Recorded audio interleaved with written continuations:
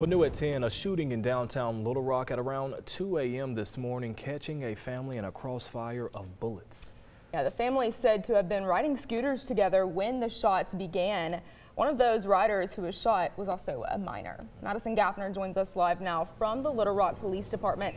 After talking with that victim's family, Madison, this was meant to be a family night, but I would imagine today is a hard day for him.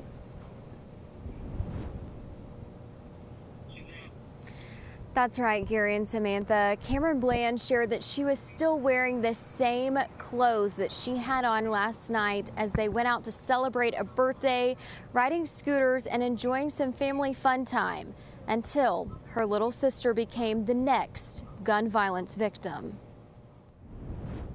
what could be just us going to have a good time turned into my sister being admitted into the hospital. An evening of birthday celebrations turned into a night and early morning they'll never forget. Just having to sit there and hear my sister scream for help.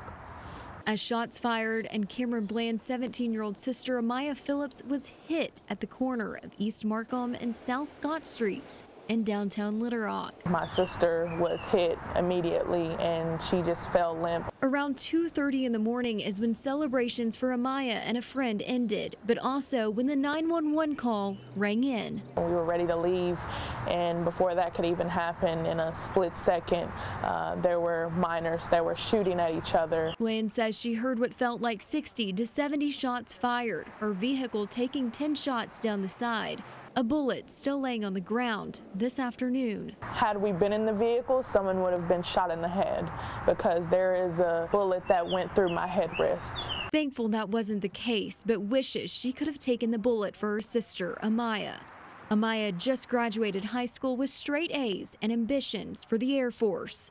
Bland praying over and over until the ambulance arrived. I know that God will get us through this.